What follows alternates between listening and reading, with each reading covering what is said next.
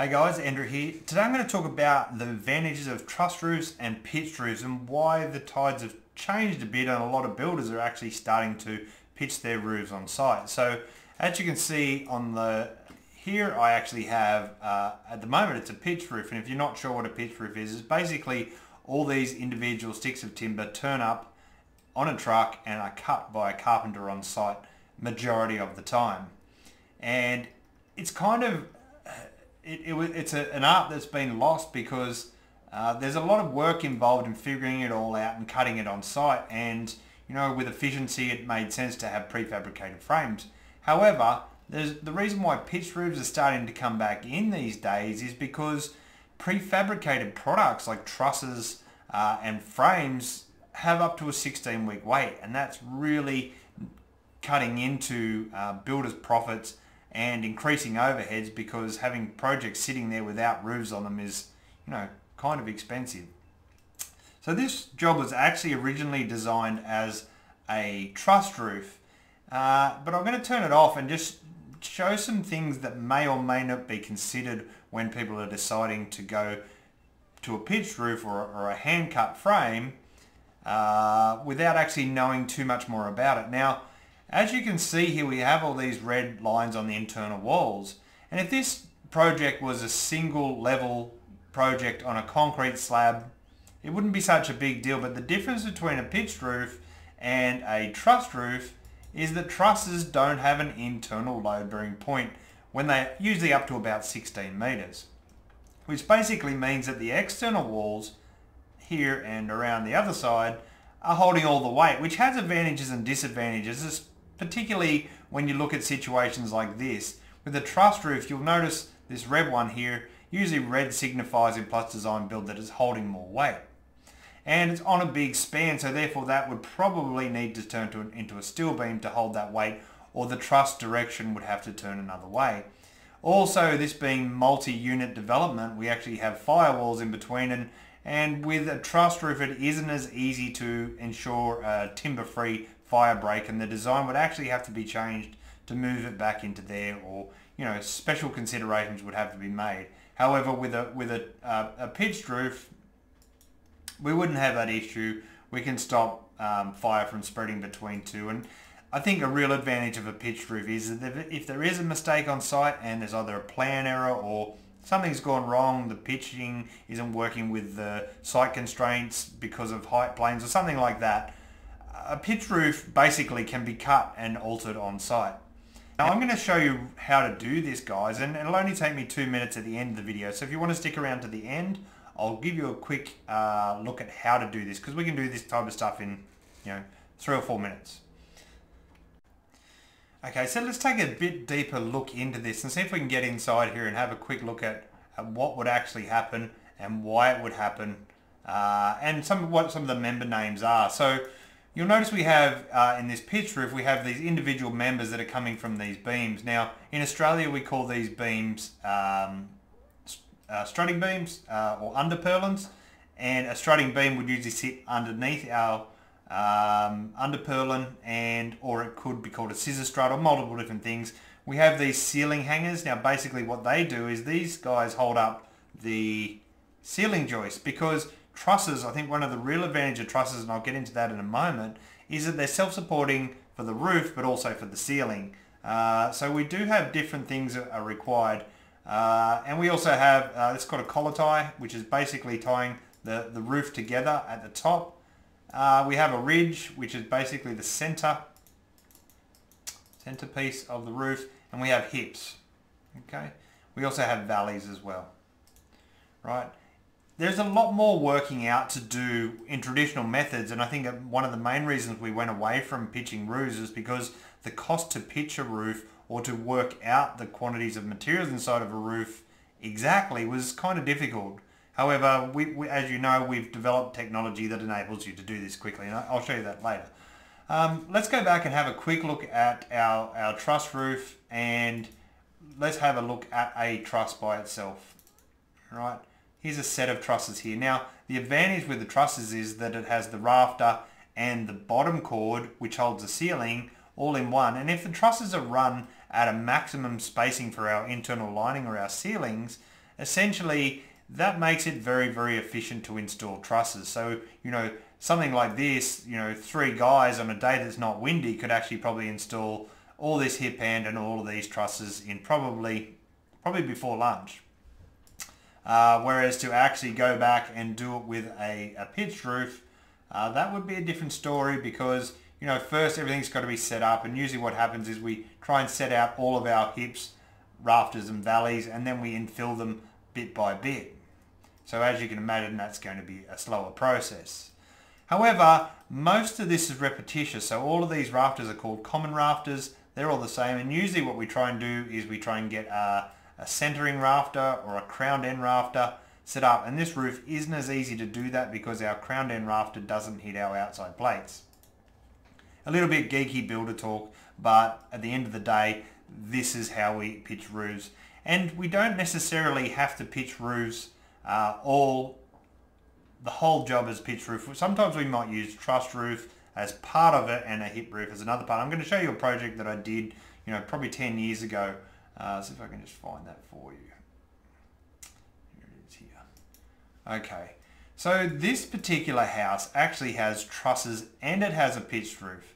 So you'll notice in the back section here we actually have trusses and the reason being that it was kind of, uh, this is a really large span between here and here it was actually quicker uh, and more efficient.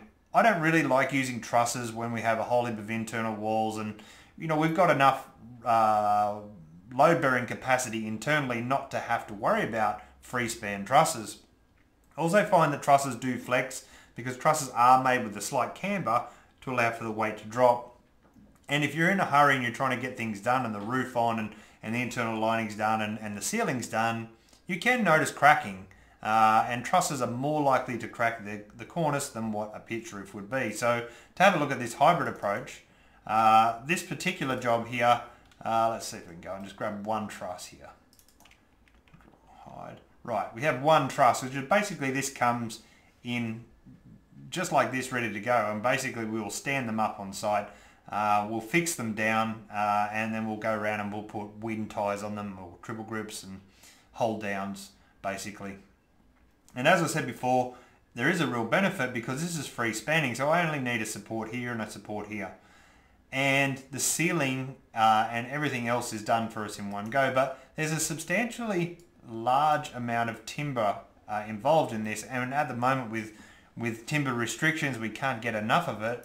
Uh, it costs more to not only just to supply the timber for the truss, it costs more to actually get it built off site and it's taking a lot longer as I mentioned earlier.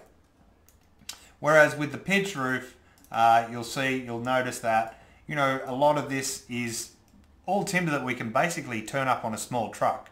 So, you know, basically every individual stick of timber would be cut, right? Uh, and that can all be stacked together really neatly without actually uh, the trucks bringing air. So we'll open space because we'll bring it in packs of timber and then have it turn up on site. Then we'll cut it up which means that site constraints aren't as big a deal when we're going to use um, a pitch roof because all the timber is more compact. We don't need longer trucks, whereas the truss itself here uh, is quite long. It's going to need a big truck, a wide truck. Sometimes you'll have wide loads and sometimes when the trusses are really big you'll actually have to split them in two which makes them dangerous to install. I find that installing trusses in a windy day or pitching a roof in a windy day uh, I would definitely prefer to do a pitched, hand-pitched, hand-cut roof. Now as far as aesthetics go, uh, or the finish of the project, you know what, you wouldn't notice if it was a truss roof or a pitched roof from the outside. Only the trained eye would probably pick it up. But, but it's in this particular instance here we have exposed trusses and that was more for effect and for a rake ceiling that we had inside of this project. However, you know, trusses on these larger spans here are a lot easier to install. Um, they're faster and they kind of look good too in certain instances. So depending on, you know, what the client's requiring and, you know, what is in the job, we may use a hybrid approach. And as you can see, that job's got a good example of a hybrid approach. Now I mentioned at the start, I'm going to show you how to do this. And believe it or not, we can actually do it reasonably fast. So see if I can just open up a, a blank file, which I just imported some some plans basically. And these are just 2D, they're flat, there's nothing to them. But I'm going to show you how to actually Um, I'll put some uh, trusses on over here and I'll put some a pitched roof here. All I'm going to do is select that face there. I'm going to go roof and I'm going to create a roof. And what I'm going to do is I'm going to create a roof at 25 degrees, concrete roof, and you know, uh, my rafter height is probably important and my batten or sheathing height is important. I'm going to submit. Okay, and over here I'm going to do the same for my truss roof. Roof. Submit. Okay, so I have two roofs, the same materials. One's obviously a lot larger. And I'll pitch the harder one first because, you know, they call these things, believe it or not, bastard valleys uh, because they're not running at 45 degrees to anything. I'm going to show you how to pitch this roof really quickly and how to view it. So what I've done is basically I've clicked inside of the roof, triple clicked it, right click, and I'm going to go to roof framing. I'm going to talk a little bit about the roof framing. Essentially we have a rafter spacing and we can space our rafters further with a pitched roof and reduce the amount of timber involved because our roof battens can take more weight if we use a larger batten and it does save uh, time and material and our ceiling is also disconnected from a pitched roof. I can explain that later if you need. Um, so we're going to rafter spacing. I'm going to go at 600 centers and I'm going to put in under purlins according to my rafter size. Now I can choose my rafter size down here and you'll notice when I drew the roof before I, I allowed for 90 mil or 4 inches above my pitching point. Um, but at the end of the day, I'm not going to get too caught up. These are the materials I'm going to use and we can, uh, if you've got any questions, ask them below and we can explain why we put those particular spans in. But this is something that, that most people could do. And what I'm going to do is I'm going to quickly just create some scenes here. And what this is going to allow me to do is just have a quick look at what we've done. Right. Okay, so let's look at our rafters just to start. So what this actually did when I when I put this in, it put in all of my hips and, and valleys and I'll just have a quick look. Right, it set out the whole job. We can also do a takeoff and it will give us the cut lengths of these. We would cut them on site and we could also get the order lengths we would order from a supplier. Um, it also has in here uh, rafters and battens. Now I'm not sure if I actually put in, um, I didn't under purlins. I'm going to quickly just select that roof again, uh, go outside of it, select it and then go in and put in some under purlins as well and I'll explain what they do. Right, under purlins here. You'll notice that we have this purlin mid-span of the rafter. And what this does is that this size of lumber will only span a certain distance and what we need to do is support it at sizes so that we can actually support or these loads are going to be transferred through to the ground and that would be called a strut. However, on the other uh, roof that we've got here, uh, we're just going to go to trusses here I haven't drawn any trusses just yet. So therefore what I'll do is I'll just go back to all. Now I'm just going to hide my roof for a second, or I'm going to hide. And you can see that I have two spans here, a shorter span and a larger span. So with trusses, all we would really do is we would select the truss, we would select our pitch, uh, and what type of truss it's going to be, and essentially what we would do, we would uh, basically go and draw our trusses. So go here. This is the span of the truss. I'm going to come down here and I've gone to the half span there. You'll notice it went blue and I'm going to quickly put these trusses in. And the same thing would happen from the other side. Uh, so I'll go here to there here. Right, and all this is basically doing is creating trusses. They're not engineered guys. Usually uh, there are companies like Pryda or MiTek that actually go through and have to engineer this. This is one restriction with trusses as well, uh, is that they actually, a typical carpenter in Australia can't actually go through and do it. So I'm going to go through here and, and this particular one, it actually needs to line up with the outside of our plate here. So I'm just going to click here for a second and you'll notice what happens. It's going to go through and put in a red truss. So we have a girder truss. Now, point loads, which I mentioned earlier, are actually kind of restrictive in some instances because we have an excessive amount of load. So the architect in some cases needs to consider uh, that, that we couldn't have a large window under here, underneath here because what would happen would be that we would actually uh, have you know, uh, issues and costs associated with the engineering. Let's quickly get rid of these tails here. Right? So basically all the weight of this part of the roof and this part of the roof is all going to load on one area. Whereas if we went back to say our pitched roof, all of the load is distributed pretty evenly throughout the whole project. So it means that it gives a little bit more flexibility uh, for the size of windows that we can use and so on. Now, for us at Plus Design Build Plus Spec, we don't really mind whichever you use, whatever suits the project, but understanding why I think will help you out a lot.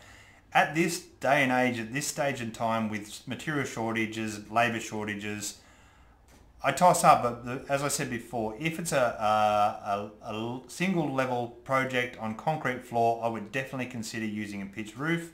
It's faster, there's less material required, there's better availability at the moment, and you can do it very, very quick, quickly with Plus Design Build, including an estimate and a cut list for on-site.